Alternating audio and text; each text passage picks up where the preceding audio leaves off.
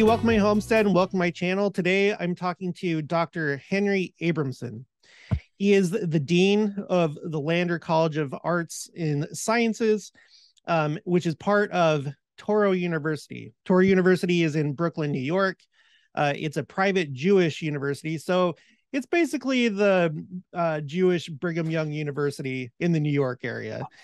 And uh, he has a PhD in history, but specifically in Jewish uh, Ukrainian history. At least that's his first PhD. I'm not going to go through all the credentials, but in the description below, I will put his Wikipedia page so you can learn more about him. And he also has his own website. He also has a YouTube channel, which I watch pretty frequently, especially when I'm at the gym. I'm watching his videos. And anything that you want to know about Jewish history, he it seems like he pretty much covers it. So I would highly recommend his YouTube channel. So thank you, Dr. Abramson, for graciously accepting the invitation to talk. Um, we're very excited to hear from you. So, uh, in our communications before, I was wondering, you know, in my own previous experience prior to this YouTube channel, just my life experience, I had always thought that Judaism was broken up into Reform, Conservative, and Orthodox. But then, um, as I got to learn more, and specifically when I came across an article that was a Pew Research study uh, of Jews in Israel, they broke them up into four groups Holoni, Masorti, Dati, and Haredi. And then, of course, there's other. I know that it's not it maybe doesn't break down exactly because like there's different shades even within those groups uh including like I'm, I'm not exactly sure what hasidic is but i know it's related to the haredim mm-hmm. uh so i was just wondering if you could explain what that is. You know a, a, lot of my audience a lot know about judaism but there's others that are kind of on the same level as me. We're kind of judaism 101 uh, so i was wondering if you could explain what that is or sure. the different yeah davies I, i'd be honored to and uh, thank you for inviting me to your channel um, let me just make a couple of small corrections uh, about uh, Touro University before we go on. Okay. Uh, we are um, we call ourselves a university under Jewish auspices, uh, but we um, have a large population of non-Jews who also study in our many campuses. We're not just here in Brooklyn, what that's where I personally am based and my campuses are based, but we have campuses in Nevada, California. Um, we have campuses in Europe, in Berlin, in oh, Moscow, wow. for example. We've been, uh, and of course, in Jerusalem. And so we actually have quite a number of students who uh, come to us for primarily medical degrees. We have five medical schools, including one that's opening in Montana and so on. So it's a big international school. Wow. Okay. Uh, um, secondly, thanks for referring to the Wikipedia page. Um, it's not necessarily the most accurate. Maybe you've okay. heard Wikipedia, but but it has a, a, nice picture there. I think. Okay, so to go to your question specifically, um, you know, there's a. I think these Judaism is a very difficult thing to comprehend um, in terms of uh, how we've uh, approached modernity. And when I say modernity, I'm talking about after the French Revolution of 1789. A lot of things changed for Jews and made things much more complicated. To start from the beginning, and I'm just going to give you the this is going to be like a five dollar answer, but I'll try and make it really simple. That's all that uh, we're looking for. you know, uh, Judaism is essentially sort of like a tribal institution that makes exceptions for converts coming in. Uh, historically, for most of our history, um, Jews have regarded identity in the Jewish people as being something that is conferred through the mother. If your mother is Jewish, it doesn't matter what you do. You can become Pope in Rome, you can become the Dalai Lama, you'll still be Jewish. There are a lot of great jokes about that, which uh, maybe if you like, I can tell you some of them. But it, it's like a tribal thing, matrilineal. Um, there are some interesting discussions about what it was like in the ancient period, because if you look before the giving of the Torah under Moses, there are some passages in the Bible that seem to portray it as patrilineal through the father. But certainly for the massive number of millennia of Jewish history since the ancient period, it's been recognized as matrilineal. Um, Jews can, or non Jews can enter the Jewish people through a process of conversion which historically consists of three things. for men, circumcision. For both men and women, immersion in a mikvah, you know, ritual bath. Mm-hmm. And uh, finally, and most complicated, the acceptance of the commandments, which traditionally Jews regard as numbering 613, somewhat larger than 10 commandments. And is uh, that what, sorry to interrupt you, is that what halakha is? Is that the embodiment of those commandments? Again, it depends on who you ask, um, but the word halakha means the way or the path. And yes, you're absolutely correct. The way in which those 613 commandments are expressed in daily requirements, which are quite comprehensive. I mean, there is halakha that dictates everything from how you tie your shoelaces to how you do business, how you get married, how you eat your food, even how you sleep. Mm-hmm. Uh, uh, you know, it is a. It's not like separated out into ritual law and criminal law and civil law. It's like the entire lifestyle is is dictated by halacha, yeah. the way. But let me get to the complicated part.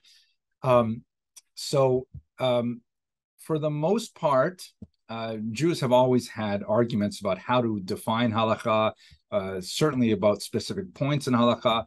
But for the most part, for much of Jewish history, uh, the Jews mainly retained that sort of tribal definition of who is a Jew, those who are born of a Jewish mother and those who convert in through those three steps. A big thing changed with the French Revolution when all of a sudden the definition of Jews uh, was left up to the individual Jew rather than the community. It's as if uh, you can imagine that, let's say, the rabbis decide who is a Jew, and all of a sudden from 1789, the rabbi's opinion is no longer relevant. And that meant that Jews, with the advent of modernity, could define themselves any way they wanted. And that's when we get the many terms that you listed a few minutes ago, Haredi, Chiloni, and so on. Um, uh, they, were the rabbis? Why weren't they trying to still enforce that? Was it just like a popular? um It just kind of happened naturally. Is that what it was? And the the rabbis um, couldn't do anything about it. No, the rabbis were definitely very upset about it. They were not happy with this change, but it came about with the emancipation under the uh, the French revolutionaries, which was also imposed in America.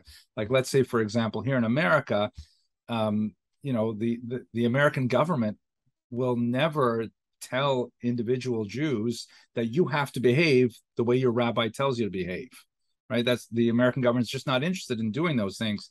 Separation of church and state. Mm-hmm. So when the French did that, where most Jews were living in Europe, of course, not in America at the time, all of a sudden this meant that all kinds of Jews could say, wait a minute, I don't agree with my local rabbi. I'm going to become a different kind of Jew.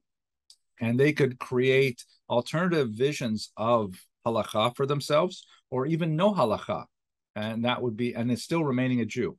Maybe to clarify this, before the French Revolution, the only way for a Jew to not identify as a Jew was to become a Christian, or in Muslim lands, to become a, a Muslim. There was no such thing as a secular identity where you could choose the degree of affiliation that you preferred. Now we're up to about three dollars and fifty cents of the five dollar answer. So okay. let me tell you what what ended up happening. So with the with the emancipation under the French, which, as you correctly opined, the rabbis were not terribly thrilled with, um, that meant that Jews could define their own sense of what it meant to be Jewish. Those who hewed to the ultra traditionalist path were ultimately called, the term wasn't used then, but is used later, charedim, which is a, a Hebrew word that comes from the book of Isaiah. It means those who tremble. Yeah. And the full verse is those who tremble at the word of God. So charedim are generally those Jews who want to accept halacha in the fullest sense of the term as it was defined by the medieval um, commentators on halacha. Uh, then on the other side of the spectrum, way on the other end, Jews who reject that sense of how we're bound by halacha, those are the so-called chilonim. And this term is also Hebrew. It's modern secular Israeli. It's actually kind of a funny term because uh, it means literally the desecrators. And oh. yeah, and they take that. Did it not also mean uh like empty or, or something to that effect? Yeah, it's related to, to the word chol, which is literally sand, or even like uh, meaning like uh, without any substance. But they okay. term it in the sense like, yeah, we don't we don't believe in all that stuff. We are openly desecrators, and it's kind of like a tongue in cheek term. Um, but it's been adopted as a, a, more of a neutral usage. So chilonim are very proud to be Jews, maintain their ethnic identity, mm-hmm. uh, but um, do not feel constrained in any way by halacha. Um, and that term is more used in modern Israel than it is in America. Um, but you could say maybe secular Jews would be on that side, where they okay. very proud to be Jewish. That's a very strong indicator. Whenever you measure Jewish attitudes, they're very proud of their ethnicity, but not necessarily they don't feel bound to keep the laws of keeping kosher and you know the laws of the Sabbath and things like that. And, and, and they and sorry, I don't want to get too complicated, but they would be they would be separate from like reconstructionist or reform Jews. Like it's like a separate group. Again, where it kind of mixes in. Or... Yeah, it's a spectrum. Yeah, and, and okay. Jews again because it's tribal in nature. Jews are free to sort of wander along the spectrum however they want. Uh, a, a, a Jew who is completely chiloni, completely a desecrator, so to speak, could walk into any synagogue at any time and and claim, you know, uh, uh, a privilege to read from the Torah. There's uh, there's nothing changing that because again, this idea of if someone's mother is Jewish, they are fully invested in Judaism, and, and no one can take that away from them, no matter what they do with their lives. Mm-hmm. Um, so then, if you imagine those as two ends of the spectrum, the Haredim on one side, the very ultra religious, sometimes they're called ultra orthodox in uh, English press. And on the other side, you have the Chilonim, the so called desecrators, who are really just secular Jews. Then you've got a whole range of uh, spots where Jews say, well, this much halacha, but not more, uh, or only this much halacha. So, for example, um, uh, orthodox, or maybe I could put it in a different way. Uh, it's also a range of how much do Jews engage with the outside world. Yeah, the Haredim on the the ultra orthodox side try to minimize their contact with the outside world in general, dress very differently, um, often speak a distinct language like Yiddish. Um, don't send their kids to public schools, don't uh, have televisions at home, things like that. Very isolated from the outside world as much as possible. And even, and even among like, because I was watching something about them, it was a really interesting video on YouTube. I'll mm-hmm. see if mm-hmm. I can find that, put in the, in the description for anyone that wants to watch it. But also, do they are they kind of uh, insulated within among Jews themselves? Because I sure. definitely uh, okay. uh, because uh, association with more secular Jews imposes also the association with everything that secular Jews are involved with. I mean, if you have a Haredi Jew sitting down for lunch with a secular Jew, what are they going to talk about? Secular Jew says, "Hey, did you catch the ball game on TV?" And the Haredi Jew says, "What's a ball game? What's TV?" Right? Like the idea is they're they're really trying to carve out their own life very separate. Yeah. But then as you move along this spectrum, you'll have, for example, Orthodox Jews, not ultra Orthodox, who uh, may believe in kind of like a, a carefully modulated engagement with the world. Um, Orthodox Jews will likely speak the vernacular of the country as a native language, will be au courant with whatever's happening politically or socially in the country they live in, and will be much more engaged, but at the same time will strictly adhere to halakha.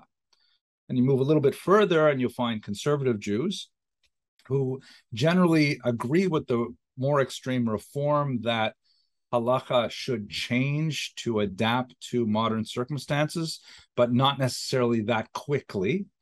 So, um, you know, for example, one of the big issues would be um, use of automobiles on the Sabbath. Mm-hmm. The Haredim definitely not. The Orthodox also no. Um, the reforms say, yeah, no, it's it's not relevant. Uh, cars can be used on the Sabbath, and the conservative movement eventually agreed in the 1950s that driving is all right on the Sabbath as long as you're going to synagogue and back. Uh, but ultimately, that ends up becoming much more widespread permission. but it all is about their degree of how much do they involve modernity in their lives. I'm beginning to think I'm I'm getting to the six dollars of my five dollar initial uh, investment. I hope I haven't made this too complicated. As many dollars as you have. okay, well, no, I've got lots more dollars. We could easily spend the whole hour talking about this, but uh, that's basically it. The various names that are used to describe Jews generally refer to how much they want to engage in modernity. Uh, with the Haredim or ultra Orthodox wanting to minimize that engagement, um, the reform and the secular on the other end wanting to maximize that engagement. Would the terms dati would that line up with orthodox in Masorti would line up with is that the same thing as conservative? Oh, very good. Yes but those terms are generally only used in israel. Yeah the word because you should realize that in in classical hebrew there is no such word as religion. Religion is synonymous with life like it's like, implied yeah, it's like everybody, this is the way you're supposed to live. So where they had to borrow words or readapt words for the modern era. So in Israel, they use the word dati, um, which means literally lawful. Um, that's that's what they mean when they say orthodox. And masorati, uh, which is a term that's used by the conservative movement in Israel, uh, it literally means conservative, like in to to try and adhere to the tradition. Okay. Now, as everyone knows, in Judaism, there's no central really governing body that I that at least that I know of. I, I think that in Israel there's there's a chief rabbinate. Mm-hmm. Um so how is it that conservative Judaism, for example, how does it stay homogenous? Like how what kind of like dictates the standards? Do they do they associate with each other and kind of consult with each other? Um how do they stay distinct and, and how is it that they don't like kind of like just blend into like whatever wow mr davis we should put you in charge because uh, you are correctly anticipating many of the problems that uh, that uh, the Jews have with their own self-identification and, and organization in the modern era. Uh, pri- you know, with the destruction of the temple going back 2,000 years ago, um, actually the anniversary was just a couple days ago you know, the Jews lost any semblance of a central authority figure to determine what what what is binding upon all Jews. And the last 2000 years have been Jews struggling to find replacements for that. The the Haredim um, have the greatest advantage in that because they tend to be highly committed, uh, highly um, organized individuals following individual rabbis but they're fragmented, you know, because you know the the Hasidic groups, for example, which emerge out of 18th century Ukraine and Poland in particular, they have particular dynasties of rabbis that they are adhering to, but separate from each other, sometimes in conflict with each other. The conservative movement, with a much wider engagement with outside society, does not necessarily have the same kind of, uh, you know, I think the word is centripetal, where they all revolve around a single body and and it and um, you know are are loyal to that single body. They do have institutions. They do have like uh, a rabbinical board and things like that, but um, it, it is difficult for them not to sort of uh, you know fade away at the outsides of their community. Getting communal acceptance of their decrees is not necessarily so easy to do and the reform movement, which is uh, still more engaged with society, really uh, actually embraces the idea of autonomy of individuals, and um, that is sometimes counterproductive when you're trying to get everyone walking in the same direction. But these are the challenges that many Jewish groups face in the 21st century. Yeah, so I guess we'll just kind of have to see how things go. Um, I'm sure, you know, and then within Judaism, of course, when Mashiach comes, obviously he would set everything straight um that's the hope that's the hope yeah uh now when it comes to the temple because we have the temple institute that's prepared everything for the temple mm-hmm. um how i don't know how much you know of the history of that uh the particulars but how was it that they got that going and had and were recognized by the rest of Judaism, probably especially the Haredim, mm-hmm. to do what they're doing? Um, I'm I'm not as uh, familiar with the specifics of you know, rabbinic approval of that particular institution. It is a very well-known institution, of course, but basically, you know, let me phrase it in perhaps with a um, uh, passage from the Talmud, which uh, says that um, you know after 120 years, which is a euphemism for after a person dies, 120 being the number that we all hope to live to, mm-hmm. um, God is going to ask us all several key questions about our life. Uh, one of them is, you know, did you do business honestly and things like that. And one of those questions is, tzipita liyeshua, did you anticipate the redemption? Meaning, did you actively hope for the Messiah? Uh, and um, the way in which Jews have interpreted, well, how are we supposed to actually do that? How are we supposed to actually anticipate the arrival of Mashiach? Uh, many Jews over the centuries, it goes back a long before the Temple Institute, have said, well, we've got to anticipate it by actively studying the laws of how to construct the temple, how to create the various vessels that go in the temple, how to perform the ritual sacrifices of animals and and of uh, the bringing of the offerings in the temple. Even though we no longer have that function in jerusalem we got to be ready. And so uh, you know there's been long for centuries there have been groups of jews who dedicate themselves specifically to those tasks. Uh, the temple institute is one of those um, you know uh, organizations that that fall within that category of really being dedicated to the uh, you know anticipated arrival of the Messiah at any moment. They want to be able to hit the ground running with here. We've constructed something that looks exactly like what we think the pans used to look like, and here's something that looks exactly like the trumpets they used, uh, and because we want to be ready to go. So yeah. it, it's really an old tradition and there's so many things happening that you know when when you when you watch what's happening in Israel and I, I follow a uh, Israel 365 and they do really amazing coverage of things that wouldn't show up in regular news because they it has a religious twist and there's just so many things going on and it's exciting. When it comes to the reform movement uh do they see any importance to the temple or are are they anticipating Mashiach? Uh can you speak to that well, it's, it's not really. Uh, um, I, I, wouldn't want to claim to speak for any other group or movement. And I, respe- I represent no movement or anything like that. I'm just a regular guy, not even a rabbi, by the way. I know I look like a rabbi, but just a regular guy. Um, so you, the uh, but I will say that historically there have been a lot of debates. Debate is is intrinsic to the Jewish tradition about what exactly will it look like when the Messiah comes? And there have been some, you know, surrounding, for example, Maimonides, uh, some pretty intense debates that, you know, who says that the third temple is going to look like the temples that were described earlier that we definitely have a slightly different architectural layout as described in the book of ezekiel but like for example maimonides suggests in some of his works that maybe the whole ritual sacrifice thing is not going to be reproduced the way it was in the ancient world. Uh, that's got him, by the way, in a lot of trouble.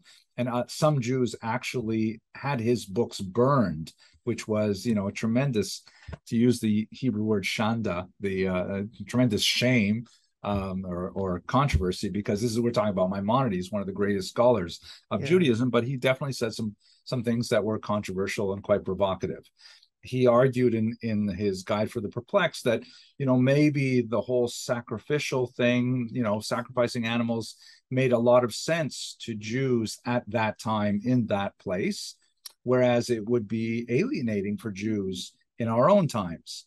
So those kinds of debates continue to rage and i think you would if you asked a typical reform jew they would probably agree with maimonides more reformist position with regards to sacrifices yeah. Okay. But ideally, this is one of the questions that God's supposed to ask us, right? Did you did you work for the Messiah? Did you try to bring about the redemption? Did you do your part? To bring it about, what what I've read, because a lot of times I go to Chabad.org because they explain things incredibly for anyone that doesn't know Judaism because I know it's like a outreach to non-observant Jews to become observant. So it's perfect for you know my purposes also, and others like me also an outreach to non-Jews as well, because they they have a very strong Noahide sort of presence Yes. Um. Well, dang, what was I? I forgot what I was just oh, about to ask. Sorry to interrupted you. You were talking about uh, working for the Messiah. Oh yeah. Um. Exactly. Yeah.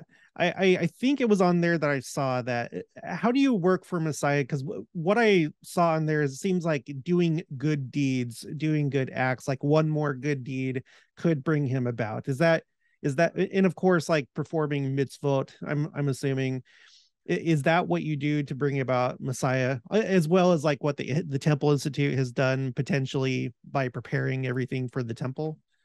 Yeah, I, I again not a rabbi, so not yeah. speaking with the uh, divine authority in any respect, but the I do have some familiarity with Jewish texts, and um, there are generally the idea that there's like a certain mass of positive energy that has to be released into the universe in order to bring about this redemption. Sometimes the Talmud will say specific things, like for example, um, uh, the Talmud says that whenever you quote the name of whoever authored a particular teaching, that hastens the redemption. Hmm. So if I were talking to my friend the other day and I say, "Oh, you know, Mr. Davies uh, of Christian Homestead, he he said this," right? So just quoting you in in my repeating it to someone else brings redemption about. Okay, that's great. Now, I did mean to ask as well. Um, well, two things. Let's start with one. Um, what is Hasidic? It it belongs to the Haredim group, or is it something separate? Correct. Uh, the the term Haredi, and again, these are modern terms used in the 20th century largely and onward. Uh, the Haredim, to remind your listeners, the term means those who tremble, and it's basically synonymous with the term ultra orthodox in the Anglo press. Um, so these are basically Jews who believe that halacha, as defined by the medieval authorities, like the Code of Jewish Law, the Shulchan Aruch, is absolutely binding on Jews today, uh, as opposed to uh, more modern uh, movements like conservative reform who say, well, you know, we can modify here, modify there for whatever reason. So Haredim includes um, many groups. The perhaps the most prominent are the Hasidim. Uh, the this is a the term Hasidim means the pious ones, and uh, they're basically Jews who were inspired by a particular teacher in the 18th century named the Baal Shem Tov. Uh, he lived in Ukraine and southern Poland, and um, you know he he taught a, a particular sort of spin on Judaism that emphasized communal uh, gatherings and the value of joy and um, you know really appealed to the population at that time and and has continued to this day. Many many different um, sort of uh, streams of Hasidic thought continue. Uh, the Satmar music, movement the Chabad movement the Breslov these are all as- aspects of the Hasidic movement. They they were in many ways a rebellion against uh, the again, it's not really two different Judaisms. It's just kind of like a style or interpretation of Judaism. They would all agree, for example, that you still have to keep kosher, you still have to observe the Sabbath, and so on. But they may disagree on well, exactly how do you do it? Like, one give you one example. Uh, the the the Torah says that it is forbidden to shave one's temples right? Like if I were to take a razor and shave my temples here for whatever reason, the, the Torah says that's forbidden.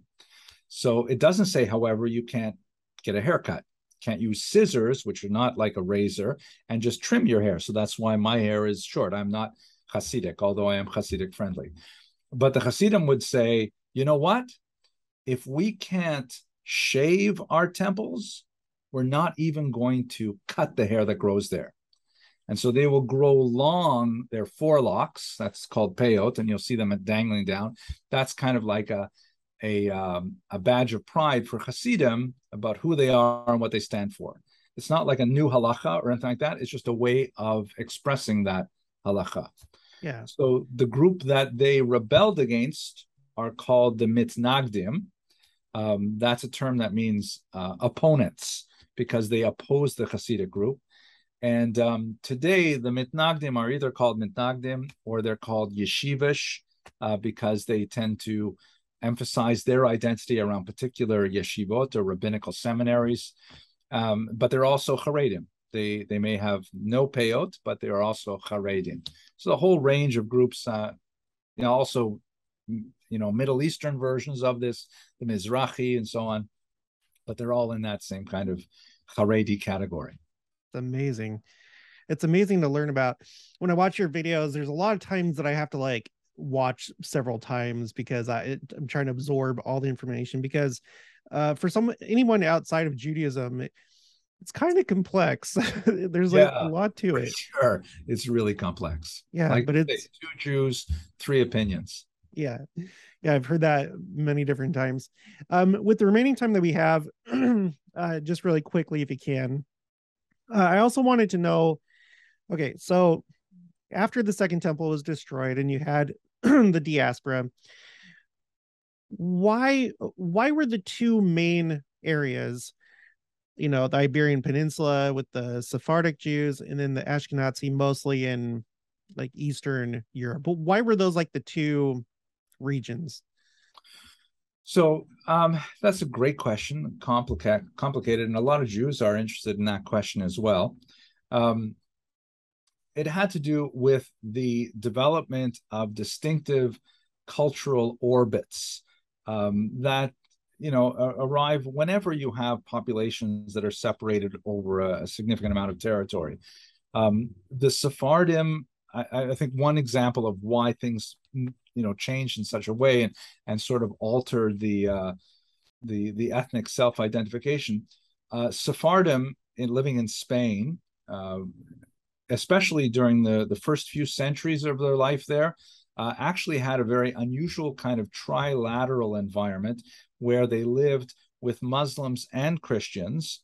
And especially during first few centuries of Muslim rule, there was really a tremendous amount of uh, what's sometimes called la convivencia, the, the coexistence. It's somewhat overstated, but Jews were free to pursue all kinds of professions um, and to uh, engage with society in a very uh, profound way. And then it was brought to a shattering halt with the Reconquista and the Inquisition, which left its own kind of mark on Sephardic Jews. Um, in Eastern Europe and also really in Germany, East Central Europe, the Ashkenazim they had a very different kind of cultural environment uh, that was scarred largely by the Crusades and tended to encourage Jews to uh, become more insular, look inward, and to regard the outside world as more toxic, more dangerous than the Sephardim had. Now, ultimately, the Sephardim were expelled from Spain in 1492, the Great Spanish Expulsion, and they found their way you know throughout the mediterranean basin and also coming to the americas but they carried with them a certain degree of uh, of a different cultural outlook um, whereas the ashkenazim uh, who migrated first further east into Russia and to Ukraine and Poland, and then later many of them to America, and before they were devastated by the Holocaust, um, they retained that distinct European uh, outlook on um, on the outside world. Uh, and that's why. That, oh, sorry, not to. Sorry, don't mean to interrupt, but that's know. why the Orthodox Jews. That's where they basically get the tradition of wearing the the dark suits, the black hats, because it kind of comes from that side, right? It's it's or is is that right? It's kind of like it's kind of flavoring, you know. It's a uh, uh, it's a cultural orientation. If, if you look, the the actual the the uh, types of clothing vary widely throughout the centuries. Um, the Talmud also has this, which is predates both Sephardim and Ashkenazim. Talmud was completed by, let's say, the year 500. Um, the Talmud also discusses the kind of clothing in halacha that a respectable person should wear, um, both men and women and dark clothes just tend to be considered a little bit more dignified and quasi rabbinic but yeah. there's no real requirement absolutely that you wear a particular color of clothing whatever or a hat or whatnot. Just oh. those are you know cultural accretions. Yeah. By the way if you don't interrupt me i can just keep speaking and speaking for a long time so it's probably better if you interrupt. So when you did have like the two main groups you know they were separated geographically was there like at all very much communication between the two? Oh yeah, absolutely. Lots of communication between the two, uh, and in fact, it it probably was difficult to really parse out differences in a concrete way until the widespread application of printing, because once you started committing a lot of these teachings to widely distributed books uh, in which it says something, hey, this is how we do it and someone else from another part of the world says, wait a second, that's not the way we do it, uh, that's when you begin to see really differences. And I think one of the most um, fascinating ways that this is expressed is that, uh, you know, the, the central code of Jewish law is called the Shulchan Aruch, the prepared table, which uh, was authored by a Sephardi Jew. And uh, after it came out, it was a big success. And an Ashkenazi Jew reading it said, wait a second, we don't do things exactly the same way. So he wrote another book called the Mappa or the tablecloth, which goes on top of the prepared table. And uh, that, just one second, please. Yes. Hey, I'm in an interview. You really, you really should knock before you come in. Oh. Sorry. Thank you. so we're gonna have to. It's okay. I'll, I'll, edit that part out. you can leave it at two. It doesn't really matter. Let me go back to where I was. Uh, so uh, an Ashkenazi Jew wrote a book called the Mappa, the tablecloth that goes over the prepared table that presents the Ashkenazi point of view. And ever since that second book came out, they have always been printed together on the same page. So Jews study together. If you want to look up any halacha, how do I tie my shoes? How do I eat chicken? How do I get married? How do I do business? Whatever it is, you will always see the Shulchan Aruch, the Sephardi opinion, and then the exceptions and the discussions of the Ashkenazim under the mappa, the uh, the the tablecloth, as it were. That's when you begin to see really the distinctions, and people can say, "Oh, I'm a Sephardi Jew, I follow this opinion," or "I'm an Ashkenazi, I follow that opinion," and so on. Yeah, because this has uh, somewhat survived to today. Everyone knows where they descended from. So, um, what was that? More or less. More or less.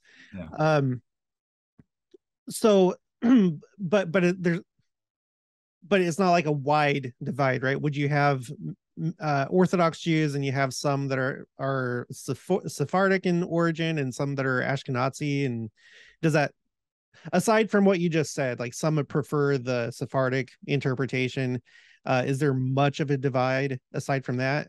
Well i'll give you a couple examples. First of all we should remember we're not talking apples and apples here because Sephardic and Ashkenazic are ethnic terms, meaning like my ethnicity, for example, is Ashkenazic. My family is all from Lithuania. So, uh, you know, that's you can see that in in my lighter skin color than many Sephardic Jews, uh, but also in you know certain behaviors and things like that. Um, and, and Sephardic means descended from the Iberian Peninsula, Spain and Portugal in particular. So they might tend to look a little darker skin, they might have darker eyes, and so on, that kind of thing. Um, those are ethnic terms. Um, Sephardic, uh, or excuse me, um, Orthodox and non-Orthodox, those are religious terms. Yeah. How does a Jew identify? And so there's going to be a lot of different overlaps. Strictly speaking, um, according to halacha, and the way it's been dominantly interpreted is that you're supposed to follow your family heritage. So if you are of Sephardic descent, uh, you can study the Ashkenazic opinions, but you really should follow the Sephardic opinion, and vice versa for Ashkenazic. It is a little bit, um, you know, flexible, uh, uh, especially if you have Sephardi marries an Ashkenazi you know, what are their children supposed to do? Uh, if it's a Sephardi father or an Ashkenazi father, does that make a difference and so on? I'll give you one example of, of the uh, type of difference. On Passover, all Jews are forbidden to eat leavened products. You can't have bread, can't have beer, spaghetti, things like that. So what about rice? Right? It's not a leavened product. It doesn't. It's not a grain like the five types of grain that uh, make up bread. Uh, but but it can behave a little bit like bread, right? You can make rice cakes, for example. Mm-hmm. So the Sephardim say rice, no problem. That's not bread. It's not a grain. The Ashkenazim have a stricter opinion. Say, no, are you kidding? No way. You can't have rice, right? So uh, if you are an Ashkenazic Jew, your Passover meals are going to be different than a Sephardic Jewish meals. Everybody's kosher, everybody's observing Passover, but a slightly different interpretation over how to deal with these um, minor categories like rice. Yeah. It's funny you say that because um, I served my mission in Spain. was there for two years, and uh, I was in the eastern part of the country, and so I ate a lot of paella, and so I could maybe see why the Sephardim would argue for rice. but um, and also my my mom is actually from Portugal, um, and I would like to see that probably not because maybe the it would have like carried down through generations but i'd like to see if at all if there's any chance that i might be jewish but i think it'd take a lot of work and who knows maybe, maybe they were at some point and then they um you know because a lot uh, as everyone knows many uh if you didn't flee then you had to convert uh, mm-hmm. uh some i know maybe retain that identity still but others maybe just through time it got lost yeah so no, there are reasonable estimates that suggest as many as 20% of the Portuguese population may be descended from Jews. Yeah. It's a big number, one out of five. Yeah, that is a big number. Okay, well, I think we'll end it right here. So, again, Dr. Abramson, thank you so much for taking some time out and talking with My me. Pleasure. Uh, this is just amazing. I really enjoy your channel. Uh, to everybody else listening, please, I would, if you're interested like I am, and I know many of you are, in Judaism, the history of Judaism. He has a magnificent channel. Again, I'll put the link for it in the description below.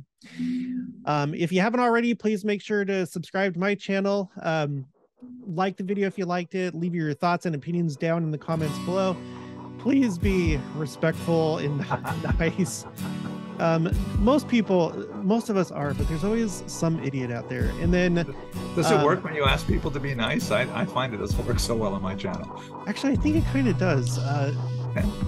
you know if they're a latter day saint then i think that they they take a second they're like okay yeah but i, I don't know. Uh, and then also uh, make sure to share it with anyone that might find this interesting and i'll talk to you guys later